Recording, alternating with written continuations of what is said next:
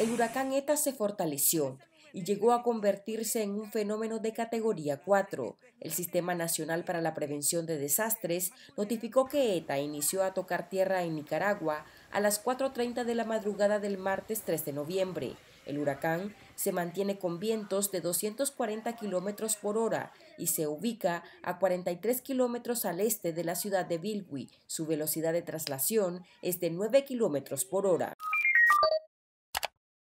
El Centro Nacional de Huracanes de Estados Unidos advirtió que con la llegada de ETA a Nicaragua se esperan marejadas ciclónicas potencialmente mortales, vientos catastróficos, inundaciones repentinas y deslizamientos de tierras. Los medios locales del Caribe Norte reportan que en Bilwi han tenido más de ocho horas de lluvias continuas y que el huracán ha dejado paredes y árboles caídos. También ha arrasado con techos. Los fuertes vientos afectaron además a la Iglesia Católica San Pedro de esa localidad, así como viviendas. Los estragos de ETA llevaron a que se dañaran algunos tendidos eléctricos.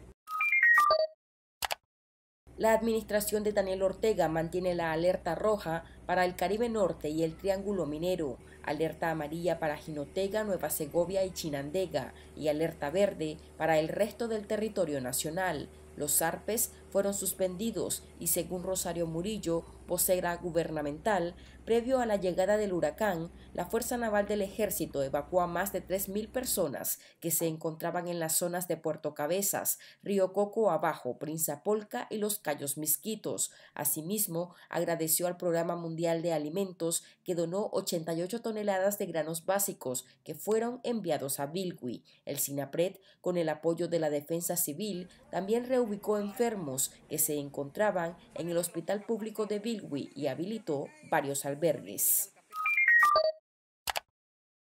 Rosario Murillo aprovechó su intervención del lunes para alabar el trabajo que realizan las instituciones del Estado en las áreas que podrían ser las más golpeadas por el huracán, obviando que el fin de su administración es trabajar por garantizar la seguridad de los pobladores también en situaciones climatológicas de este tipo. Murillo dijo están listos para responder a la emergencia en medio de circunstancias desafiantes. Debemos optar por defender la vida, recalcó, y destacó como vital los simulacros multiamenazas que se realizan en conjunto con el SINAPRED y el Ejército.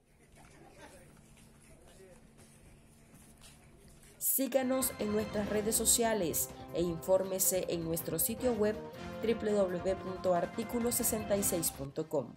Les informó Marlene Balmaceda.